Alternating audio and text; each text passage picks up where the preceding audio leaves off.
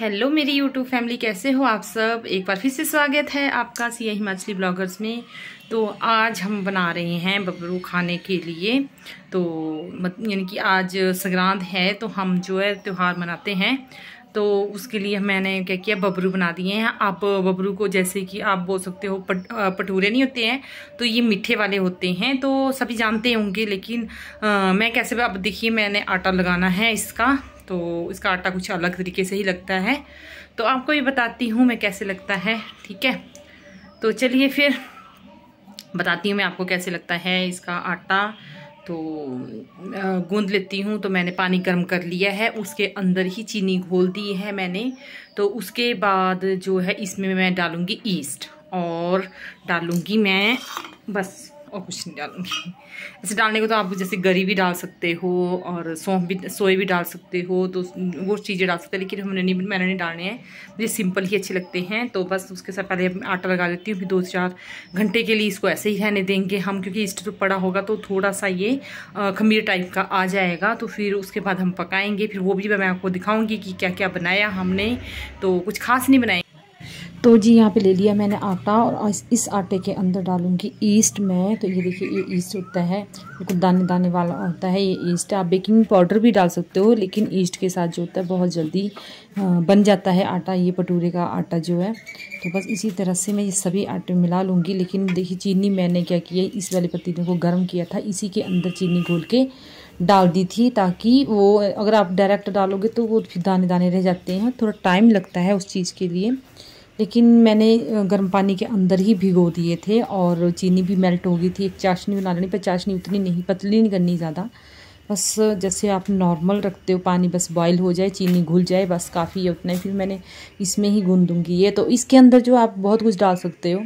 तो जी, आटा हमारा लग चुका है तो इसको कैसे चेक करना होता है? ये देखिए, ऐसे और ऐसे।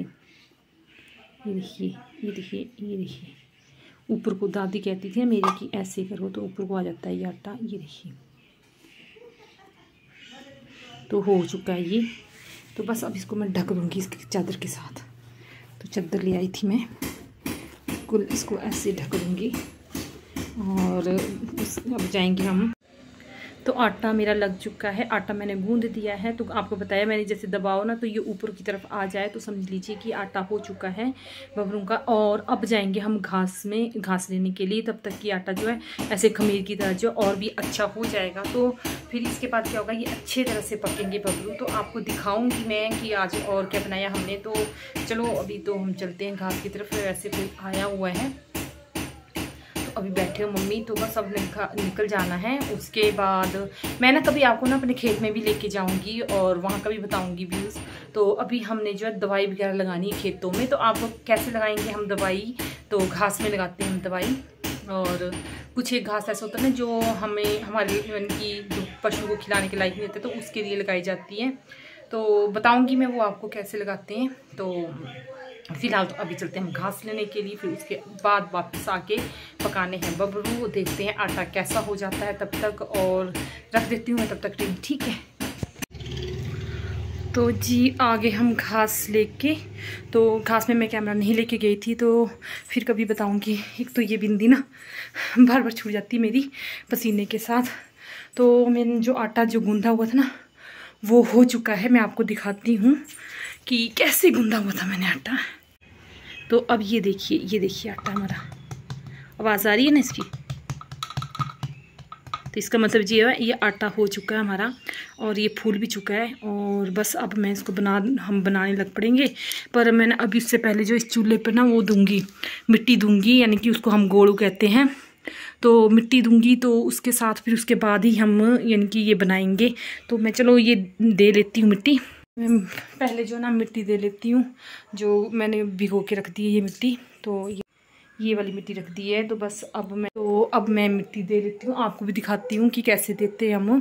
तो कुछ एक जो होती हैं महिलाएँ या फिर ऐसा होता है ना जिसको वीकनेस की प्रॉब्लम हो तो वो खाती भी हैं इनको। तो चिकनी सी होती है ये मिट्टी इसलिए वो खाती हैं तो वीकनेस की वजह से होता है, इसलिए।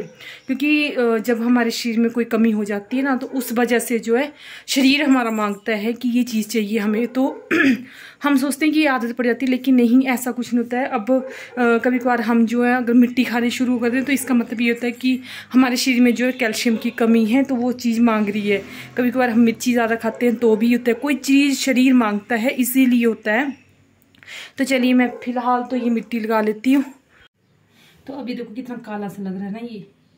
फिर अब उसके बाद बता क्या होगा? बिल्कुल चमक जाएगा ये देखना आपको चलिए फिर लगाती तो मैंने यहाँ से सारा सामान हटा दिया था क्योंकि अब मिट्टी देनी है। तो देखती बताती हूँ कैसे दे रही थी मैं।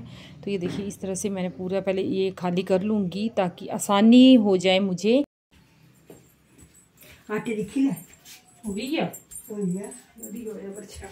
है हो गया हेलो नो नो तो हाँ एक तू रखनी जी सब्ज़ी दिखा दिखा वाला कैसी बढ़िया सब्ज़ी फ्रेश ना कोई खाद ना इसमें कोई मैल प्योर प्योर सब्ज़ी कोई बात नहीं प्योर सब्ज़ी खाड़ी है बिना खाद की अब इसमें हम क्या दो बंदे हैं बस खाने वाले तो बस प्याज व्यूज़ डालेंगे तो सब्ज़ी होगी हमारी तैयार करते हैं काम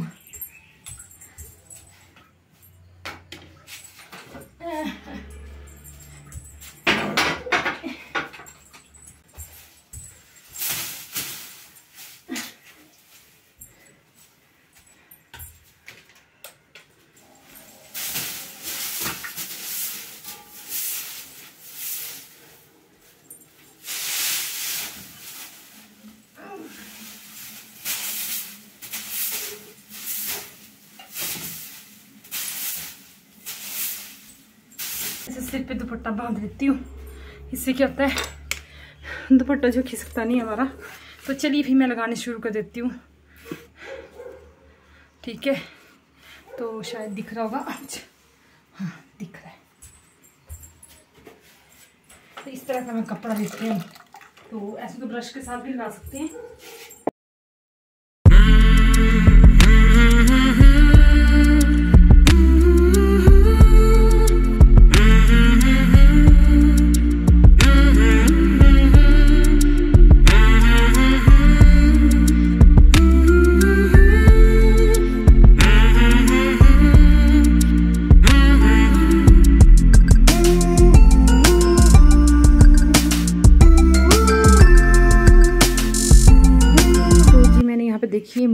देखिए वगैरह लगा दी थी तो मम्मी चले गए थे नहाने के लिए तो मम्मी नहा के आ गए थे और मैं भी नहा के फिर यहाँ पे लग गई खाना बनाने के लिए, क्योंकि आटा हो गया था तो अब इसको फ्राई करते जाएँगे। दिखा, देखो इस तरह से, और जो हिमाचली हैं तो उनको तो पता ही होगा कि इनको क्या बोलते हैं, लेकिन आप अपनी अपनी लैंग्वेज में क्या बोलते हैं इस चीज़ को मुझे प्लीज़ कमेंट में ज़रूर लिखना कि और किस किस को पसंद है ये डिश हमारे लैंग्वेज में, हिमाचली लैंग्वेज में तो इसको बबरू कहा जाते हैं, जो मीठे वाले होते हैं।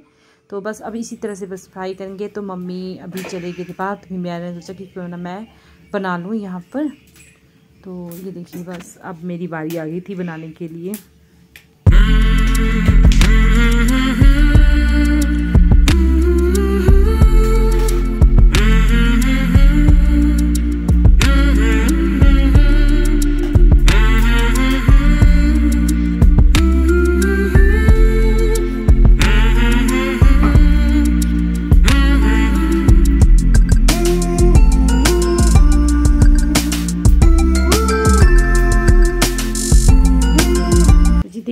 इस तरह से बन गया। आपको बताऊँ, मुझे ये चीज़ भी नहीं आती थी बनाने के लिए। मतलब मुझे नहीं आता था आटा कैसे लगाते हैं, इसको कितना रखना चाहिए, कितना कैसा टाइट और कितना लूज़ रखना चाहिए। तो देखिए, अब ये भी सीख लिया था तो आहिस्ता आहिस्ता सीख ही गई थी सारा काम मैं। तो अब तो काफ़ी टाइम हो गया, अब तो मुझे आ जाते हैं, लेकिन ये भी परफेक्ट बन गए हैं। अब तो बहुत अच्छे बना देती हूँ मैं इसको भी। तो सबसे मुझे जो मुश्किल काम है ना, मुझे जो लगता है, यानी कि ऐसा नहीं मैं किसी काम से घबराती हूँ, सबसे ज़्यादा मुश्किल काम मुझे ना आग लगाने का मतलब यानी कि जो चूल्हे में आग लगाते हैं, जलाते हैं, वो सबसे ज़्यादा मुश्किल लगता है क्योंकि मेरे से जलती नहीं है और मुझे बहुत सी खुंदक सी आती है जलाते वक्त भी। तो ये देखिए, अब इस तरह से सारे ही बना लेंगे तो मम्मी वगैरह भी उधर ही थे। तो ये देखिए। तो सबसे ज़्यादा मुश्किल काम मुझे आग का जलाना लगता है। किस किस को लगता है? ये बताना मुझे कि जिसको मुझे बहुत खुंदक आती है इस चीज़ से। तो बस ये मेरा अब हो गए थे लगभग तैयार ही बबरू। तो बस फिर ये आज की वीडियो मेरी यहीं तक ही। वीडियो आपको कैसी लगी कमेंट में ज़रूर बताएँ और अभी तक जिसने मेरा चैनल सब्सक्राइब नहीं किया प्लीज़ सब्सक्राइब कर दें और बेल आइकन की नोटिफिकेशन को ऑन कर दें। तो आ जाओ आप सब भी खाने के लिए। तो ये देखिए, बन गए हैं मेरे बबरू ये देखिए, अब बस हमें सब्ज़ी वगैरह बनानी थी। तो मिलते हैं आपके साथ एक और नई वीडियो में। तब तक के लिए बाय बाय